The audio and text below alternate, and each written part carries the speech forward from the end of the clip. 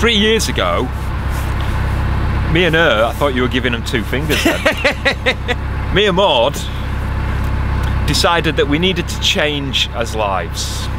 Mental health was getting too much for me. I couldn't cope and it was rubbing off on Sean and not in a good way. So we used to go walking down by the canal at Stanley Ferry near Wakefield and that always used to calm us down, especially the Guinness in the pub afterwards. It's not true. And we'd owned a narrowboat before back in 2004 and it was really good, we loved it, but it wasn't the right time then. But we started to think, well, what about this time? And that started us on a journey, going to see all sorts of boat builders, going to boat shows, looking at used boats, new boats. And eventually, we had this one built, Narrowboat Silver Fox. And we launched it back in May 2019. Awesome and day. It was. Today's a very special day though, because just where that bridge is, is where Narrowboat Silver Fox has passed its first 1,000 miles. What a journey. 800 locks, 140 swing and lift bridges. Wow. That was just on the Leeds and Liverpool. Wow. No wonder my arms and shoulders are bigger than they used to be.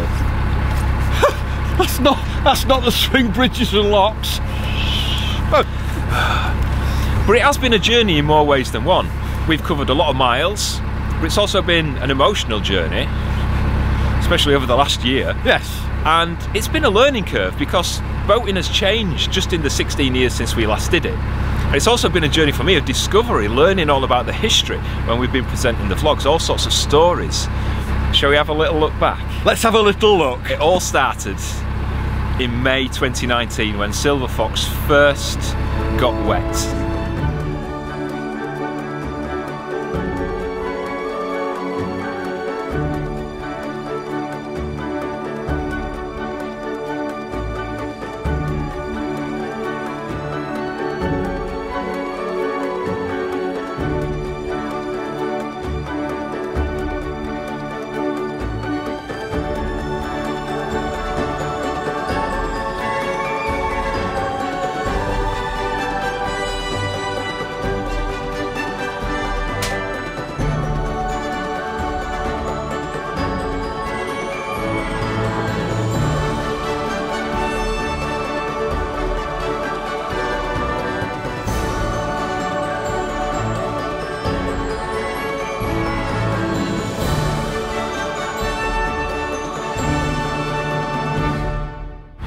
I don't remember much about launch day.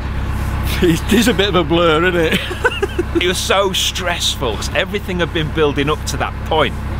And I joked that I was hiding behind a hedge controlling the drone, and I literally was. It really was. I was out of the way, nobody could come and talk to me, and I was just in my own little world controlling the drone. And that's pretty much all I remember. Yeah, it is. There were so many people buzzing about, and once we actually got on the boat, it took it literally took weeks to get everything sorted, didn't it? It, it was like a bomb site. It was. what do you remember? What's like the, the most vivid memory you have of, of launch day? Actually hugging Sue. Yeah, we didn't get that on video. We got a photograph of it. I was just like really quick with my phone and snapped it. I tell you what, I do remember, and I regret. Whose idea were it for me to wear that Peaky Blinders hat? Every time I watch that vlog back, I'm like, no, No, Colin. no. Why didn't somebody say something? Like, no, you don't wear that.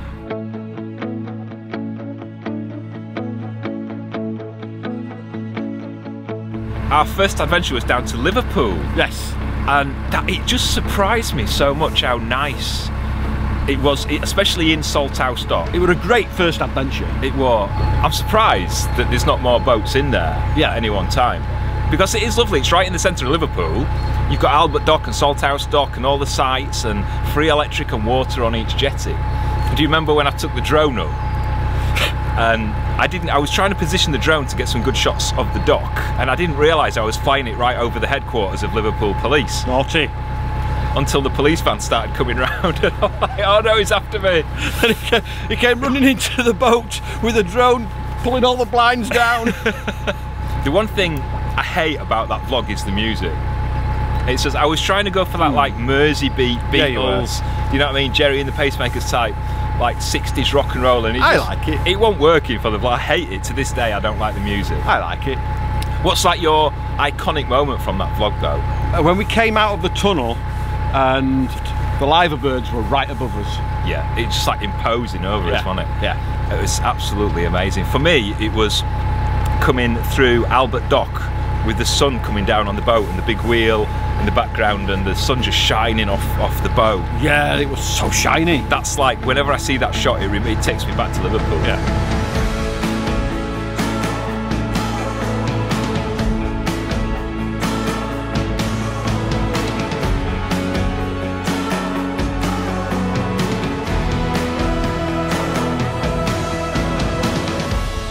From Liverpool, we set off on, I think, what was to be the biggest adventure we'd done, wasn't Oh it? Oh God, yes. And we didn't realise at the time. We went back up the Leeds and Liverpool canal onto the Rufford branch to Tarleton, ready to do the Ribble Link.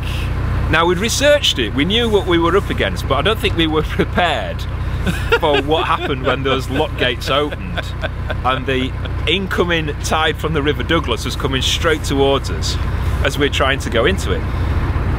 Now Pat and Eileen on their boat Dunworking set off out of the lock before us. yes. And the combination of the incoming tide and their boat created a lot of wash at the back, which we were ploughing straight into. I was literally running up and down the boat, we're sinking. We're sinking. convinced we were going to sink. Water was coming in at the front through the front gas lockers. We didn't sink, obviously. no, we didn't. But that's where the title Don't Sink on the Ribble Link came from, because I was convinced we were going to sink. And the thing is, I mean, people were saying the thumbnail for the video is, is clickbait. Yeah, but It's it like- wasn't. It's not, it's an actual screenshot from the video. And what we didn't know at the time is if we'd waited 30 seconds, And let Pat and Eileen get a little bit further in front. it would actually have been a lot smoother. But then again, we wouldn't have had that brilliant little bit of video. No, we wouldn't. thumbnail, and we probably wouldn't have had It wouldn't have been as exciting. three quarters of a million views on that video. but once you get off the Douglas and onto the River Ribble, even though it's like this wide expanse of water, it's actually a lot calmer, isn't it? Yeah. And you're Yeah, still fighting the tide a little bit, but then the tide turns and it's pretty slack by the time you get to Savick Brook. Yeah. You know, the farmer's ditch, Which it was. where you can see the water level dropping as you're going by and you can hear the boat literally Scraping the bottom. scraping the mud and the silt at the bottom of the ditch. And it's a relief when you get to that first lock and it's like, water, thank you, water. It's tough doing it with a 57 foot boat. I think 62 is the max. Yeah, it is. I think that's what the, the maximum CRT allow. And our next boat is going to be 60 foot, so. Uh. And when you come back out of Savick Brook, back onto the Ribble, I don't think.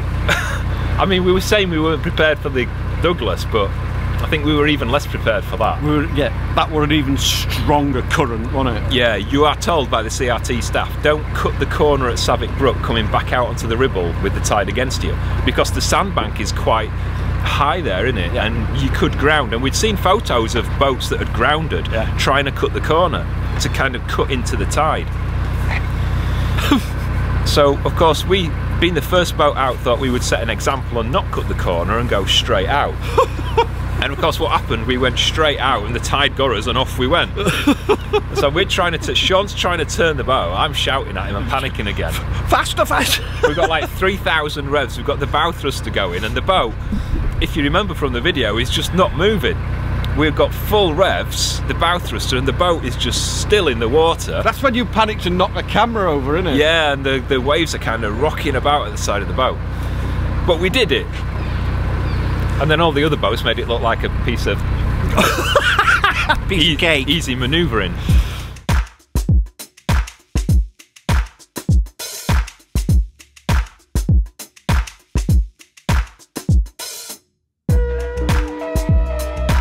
The Lancaster itself was lovely. Do you remember all the duckweed when we oh. got there? God, yeah, it was like a carpet. But it was, it was like a holiday on the Lancaster Canal. So many GRP cruisers and caravan parks. It was Yeah. like being at Reighton Gap It was. Wasn't it? it was. on the East Coast. It was a lovely Your holiday. granddad's caravan. Do you remember Hest Bank? I was saying Hest Bank for like a month and it was Hest Bank. Uh, we're here at Hesk Bank. Hest. Hest Bank. Hesk Bank. H E S T. Let me get my book. We're here at Est Bank. You kept saying Hesk. H E S K K. You See, I'm getting it wrong now, aren't I? Yeah, you are. You're rubbish. And it's Hest Bank. H E S T. I thought it was. No, I didn't, did I? I thought it was Hest. You thought it were Hess? Yeah, that's where Tyson Fury lived, wasn't it? It is. Or his house was. We walked past his house. We never even Several knew. times. We could hear like Romany music and like a punch bag going, but we didn't know what it was. but it was lovely. And I think my favourite from the whole Lancaster was the Lune Aqueducts. That Oh, just that of drone footage. And that is my favourite aqueduct is the Lune Aqueduct. Yeah. It's also the first time that I started talking about mental health, wasn't it? Uh, yeah, first time I spoke about mental health as well. Yeah. Colin's had a meltdown today. He's taken off down the towpath uh, and he's got no shoes on. All he's got on is a t shirt and a pair of shorts. And he doesn't like to show this side of him. Um, he likes people to see the happy side. So he should be alright.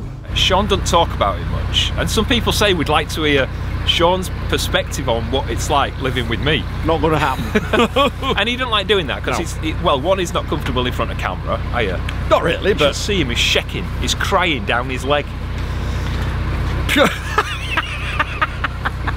But it was the first time he talked about it, yeah. and a lot of people seem to react to that, didn't they? Yes, in they a, did. in a good way. You're right there. I'm just turning. but yeah, it was it was weird, and I think I was still adjusting to the move. you were adjusting to the new life, weren't you? Still. We'd, we'd, we'd sold the house, we'd sold my business, Sean gave up his job, I'd run the London Marathon, and we'd moved onto the boat all within the space of literally a week. yeah, it was. And it was a big adjustment, and I was finding it difficult. But I thought that I found that talking about it actually helped me, and a lot of you seem to pick up on it as well. Yeah.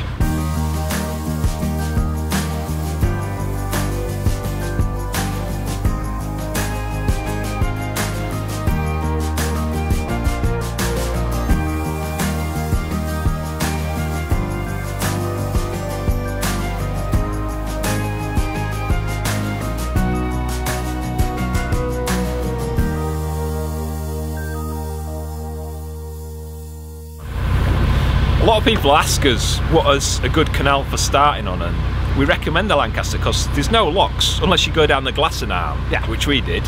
Glasson Arm. Glass and arm. they And lovely. It is nice. The locks were hard work, but down at the bottom is Glasson Dock. You remember the smokehouse? We were eating Oh. smoked cheese and bacon for like a month. We spent far too much money. we did. We did. We literally spent a whole week shopping budget did. In, in there, didn't we? And I ended up jumping in the dock because Sean had got weed in the bow thruster, Yes. so I jumped in the dock. And people were warning me about a giant pike that lives there, and I took it seriously. Like, what's nibbling me foot?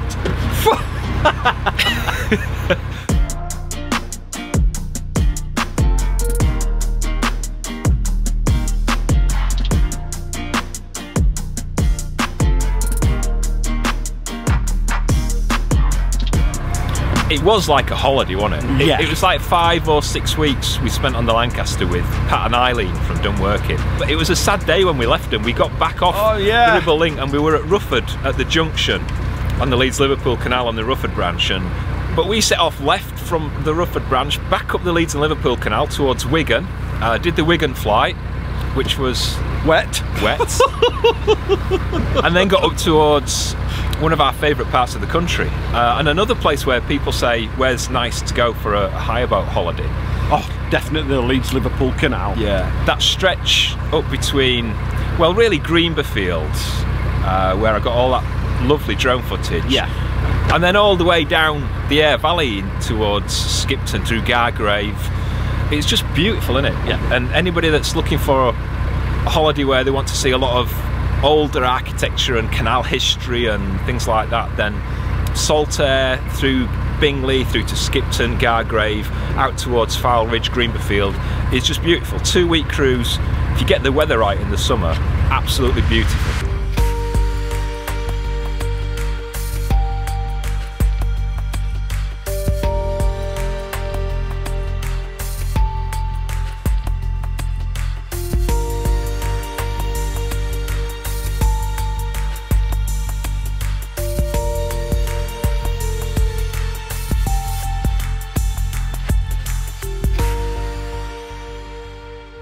Watch your boat in Bingley Locks. Do you remember the Bingley Five Rise?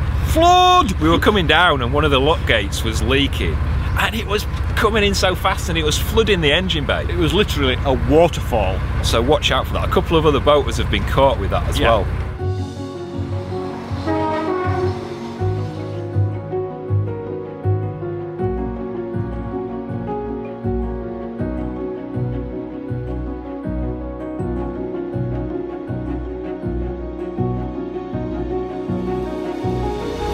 Coming down the Leeds and Liverpool Canal then from Bingley, we eventually arrived into. Clues in the name Leeds and Liverpool Canal. Uh, Leeds. and it's a bit weird because it felt like home, didn't it? Yes. Even though it was really noisy. So you got the railway station right behind the boat, you got a hotel on one side, an apartment block on the other, and pubs all around the other side, so noisy. and the party boat. Oh my god, yeah. But it was nice just for a few days to get back into civilization, Yeah. do a bit of shopping.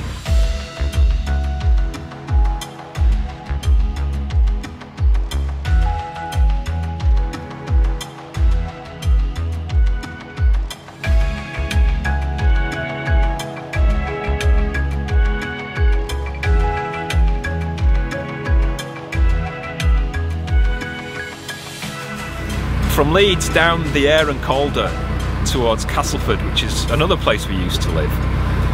It was just, it feels like home even though we're on a boat on the water and we're not at home, do you know what I mean? Yeah, I know what you mean. Yeah, it did. It did feel like home. And then taking the boat out of Castleford towards Wakefield and, and back to Stanley Ferry, which is where we first made the decision to get a boat again. That was a weird moment. It was awesome going, passing all the boats through Stanley Ferry. Yeah, all the people that we knew and that we used to say hello to, and then we're kind of coming straight through the middle of them, giving them all the royal wave. well, well, you was. I was giving them all the royal wave.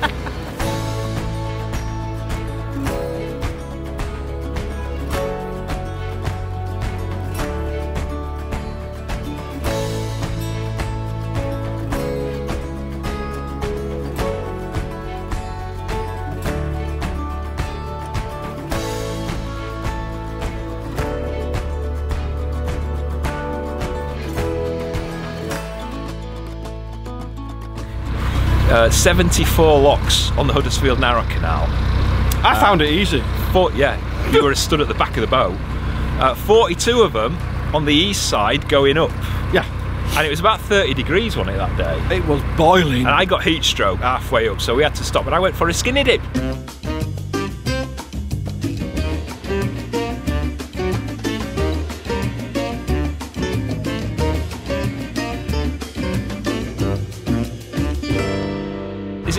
Scath or Spath Reservoir? One of them, Spath, Spath. Scath's the baddie off Star Trek, isn't it? or is it Star Wars?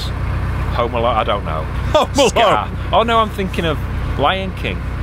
Scar. Scar. I don't know. Scar. Yeah, it's Scar, isn't it? That's where Scar I'm- yeah. on- Well, on- this was yeah. Sparth Reservoir. Nothing to do with Lion King.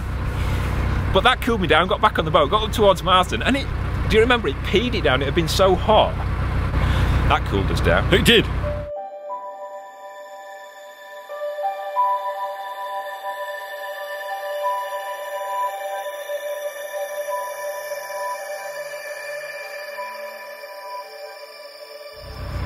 Standedge Tunnel was Well- an amazing vlog to make. It was. It took me like two weeks to make that vlog. It was an amazing vlog. and I loved.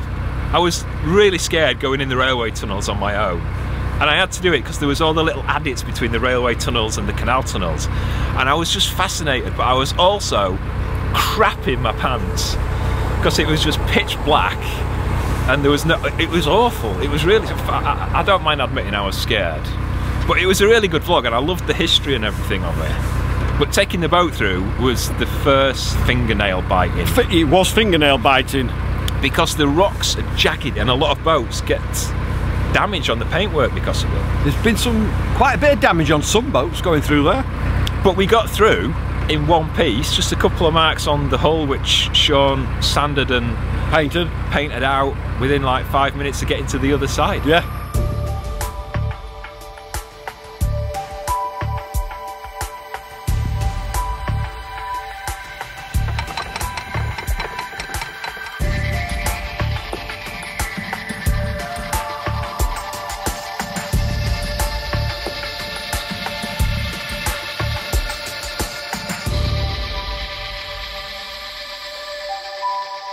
Think from there, the 32 locks coming down on the other side It, were oh, it were lovely. relatively easy, weren't they, than the 42 coming up. Yeah.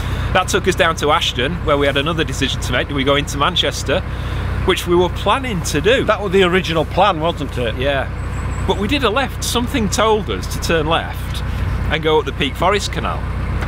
Oh wow, that was just like That was the best choice we ever made. it was brilliant.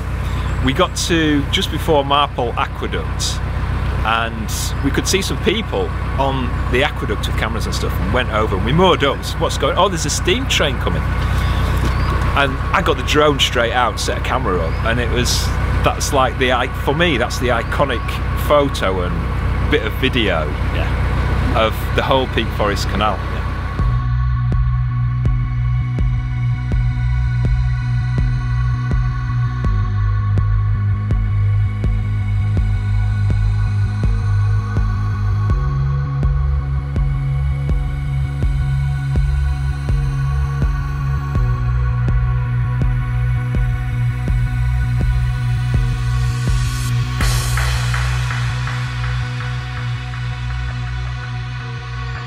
Do you remember we got moored up and we had to do an intro for the video or an outro? I can't remember. I can't was. remember which one it was. And we walked down the side of the aqueduct. Yeah.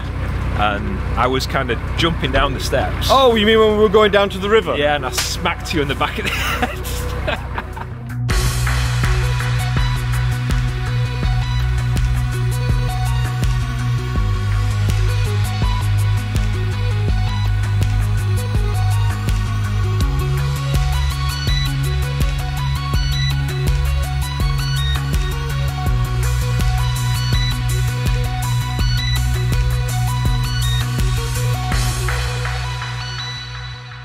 I think it's from Marple Junction down to the end at Whaley Bridge and Bugsworth Basin that is Yeah. just my favourite stretch.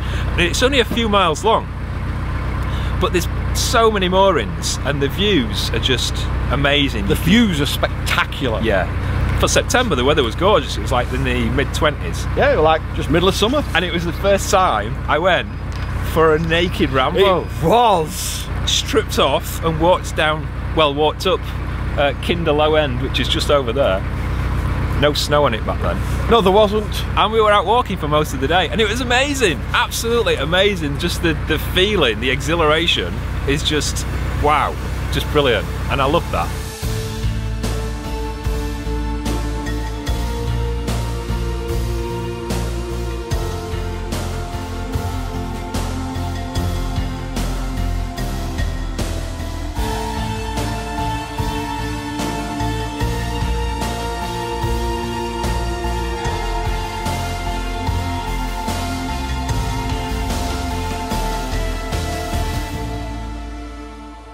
We've been rattling on for about half an hour, haven't we? There was? I've been rattling on for about half an hour. Uh, we've only got about 500 miles into our 1,000 mile narrowboat journey. 500 miles. I would cruise 500 miles. Da-da-da-da. No. Which one would you be? Uh, Proclaimer one. I'd be the one with the glasses. Glasses. what were they called? Charlie and Proclaimer one, Proclaimer two. Charlie and Craig, I think it was, wasn't it? anyway, like we digress. No. We're halfway through our 1,000 mile narrowboat journey, but we have to leave you here because we've run out of time. so join us next time when Sean forces me to leave the Peak Forest Canal and we continue our adventure down towards Birmingham, Stratford upon Avon, the River Thames, and the best bit of all, in central London, under Tower Bridge. Oh, ah. Always spoilers. Don't tell them. So join us. For, I think next week's episode's better. they don't know we've already recorded it, do they? No. Uh, so join us for that next week. If you've enjoyed this vlog, we hope you have. Uh, please subscribe to the channel if you're not already, and hit the like button, the thumbs up. Thank you. And if you'd like YouTube to let you know every time we release a new video, hit the notification bell. It's four o'clock every Friday. Yes. Isn't it? Yeah, you should know by now. Don't miss next week. It's going to be ace. See you next week. Bye bye. Ta-ra. And it's only Jane McDonald stood there, and she says, Colin, she says, I don't know what you think that is, but it's not chocolate ganache. Seven, six, Sean will cough when we get to number one. Three, two, three. Tell me when you stop laughing. I've stopped. Yay, we do. Ooh, yay. Next take. with, and ca- and, I, yeah, yeah, it's because I'm put off by this branch that's Doing it again. We'd been, I don't know, or summer. 10, 9, 8, 7, 6. I think we might have to do that again. Come on. I'm not singing. Da da da da. Da, da, da, da. Da da da da. Da, da, da, Da da da da da da da da da da da. Da, da, da, da, da. Da da da. Da, da, da. Da da da da da da da da.